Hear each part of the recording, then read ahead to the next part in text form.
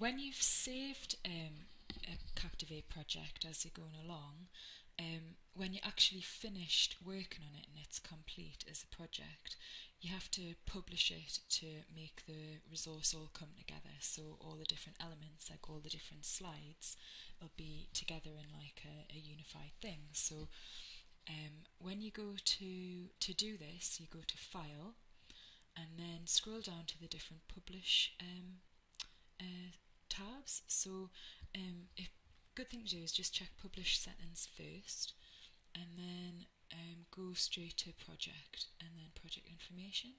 So you can see there it's quite like vague. So um, I'm just going to change them. So um, you know we could put the library website or something in there, but you can put your name if you want in there. I'm just going to put stuff, and then like when it was made, if you if you want it to be a copyright but you know you you, you don't have to, and you can put a few more bits of metadata to tag to the file here, so created for staff development or whatever it is that you want to put in there. Um, we'll just check down. Um, so when you publish a file in um, Captivate, if it's a um, you if it's just a video, then it's fine to just put it onto YouTube because it won't be interactive. You'll just be showing people things. So you can use Captivate to just film, record the screen, and that's all.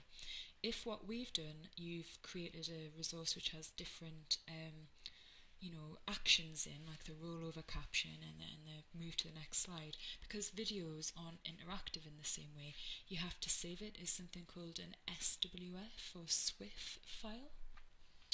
So um, that's that's why you need to check this kind of stuff. So we'll just leave we'll just leave this. We don't have a preloader, like a file to stick on this front, so I'll uncheck that. And then just um, make sure that um, that's that's all okay. So the point of um, checking these settings as well is that here you can get the um, resource you've created to loop. So if you were creating something for um, a, a, flat screen or something, or just that you just wanted to go on and on and on like a video, you would choose loop. But um, or you can even choose that um, when it opens it opens onto a URL so it would open discover after you've done your tutorial. Oh no shh. ignore that. But we're just going to have it um, stop project. So we just want it to stop. Um, okay. So now what I'm going to get it to do is um, publish the file so click on publish go to file and then click on publish and then these are the different types of file that you can have. So we don't want to just do um, a, a video file because we have interactive content. So click Flash SWF and then you have a chance to rename it. I'm going to keep it the same name as I've been working with. And then um, it, it tells you, just chooses a folder. So um, I'm just going to choose a folder that I've been working on. So it was on the desktop and it was um, in, is it Rachel? Yeah, this Rachel one. Um, there you go. So there you go. Finished tutorial. Okay, so um, Right, so keep this done. And th this option here, export PDF, is that it creates uh, various PDF files that go along with the interactive resource. So um, you can choose that if you want, or you can just leave it. Um, so then I'm going to do uh, publish. So it's just compressing the file. And then now I can have a chance to view the output. So I'm just going to click yes and see what that looks like.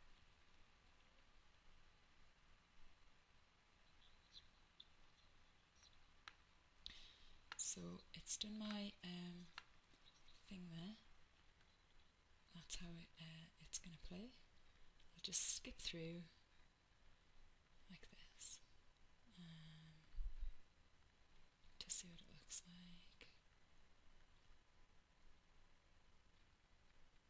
So there was my thing, and there was my thing, and can you see that it's paused the time now? So nothing's sort of moving on until I can hover over there and then I can press click to continue and it moves on the presentation.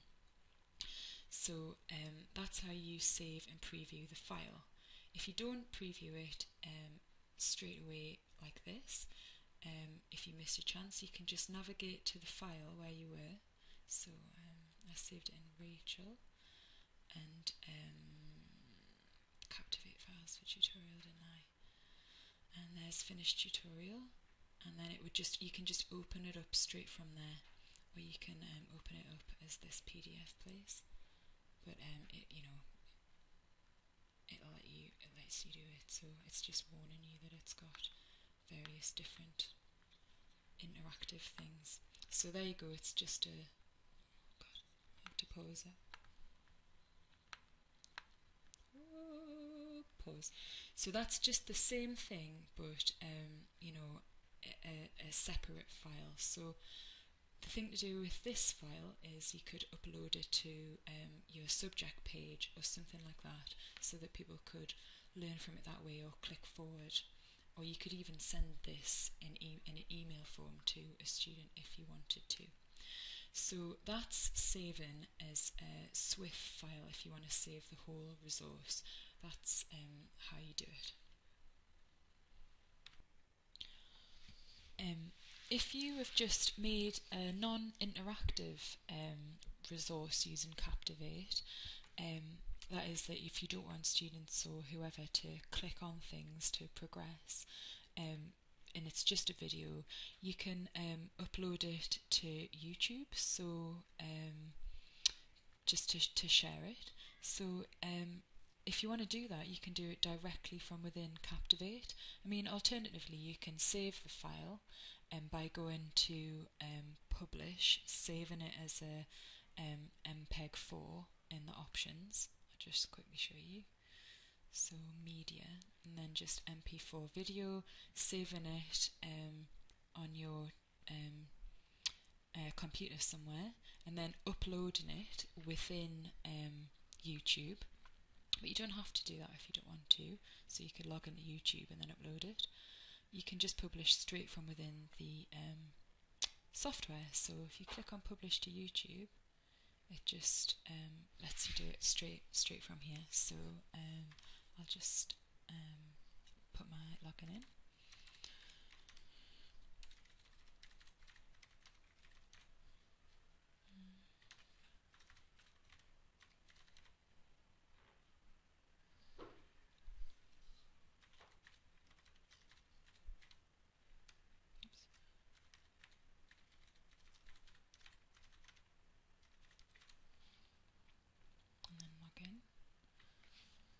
So there you go, it's connected it straight to YouTube. So you can um, keep the title the same or just change it, add a little description. So um, a demo of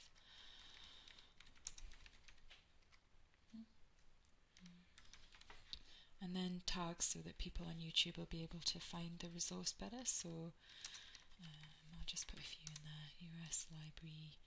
Um, or whatever.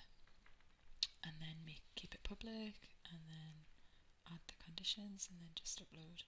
So um, it just takes a, a, short while to um, generate the video for you. So um, it depends um, in the settings how high you selected uh, you wanted the file to be. So um, that's dependent on how long it takes for it to create a video for you of the um, project.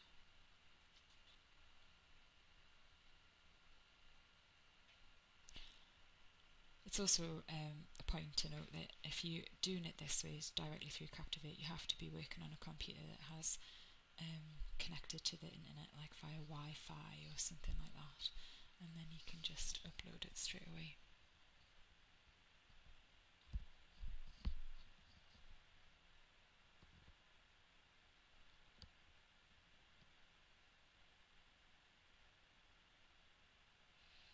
now it's just uploading it directly to the YouTube account that I specified so it just takes a few minutes to do it.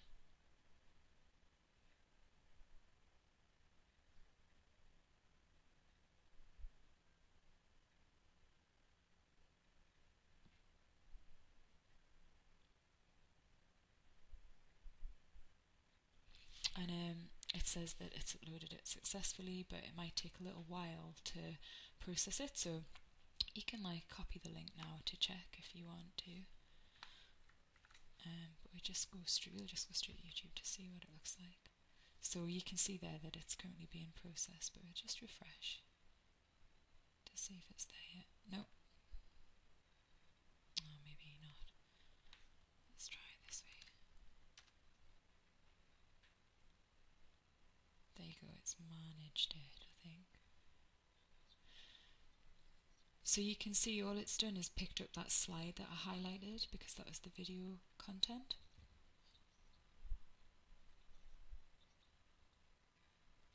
So let's just uh, move it forward a little. Oh, slow internet connection.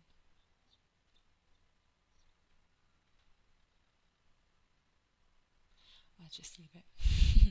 but um, that's how you do it directly from um, within Captivate. If you um, upload um, an interactive project um, that you've created in Captivate directly to YouTube, then this is what it will look like. So, irrespective of whether you've done it from within the project, so doing it direct to YouTube, or whether you've saved the project and then gone into your YouTube account and uploaded it that way, this is what it would look like. So, this is what we've created, and you can see there's the blank slide at first, then there was the content with my voice. I'll mute myself so you can where we demonstrated the library catalogue. This is what it would look like. Um, I'll just skip forward to the interactive bit that we made. So you can see that was when we did the um, insert in a PowerPoint slide. Now I'll just pause it now because this was our interactive slide. So I'll just play it and you can see that this will appear and disappear this will appear, but our interactive content is not present. So um, and so you it'll just stop after a while. You can't it doesn't hold at that button and it'll just move on. But it doesn't mean that you can't have just a video. It's just that you'll have to think about just having caption boxes that sort of appear to highlight the various parts of the resource.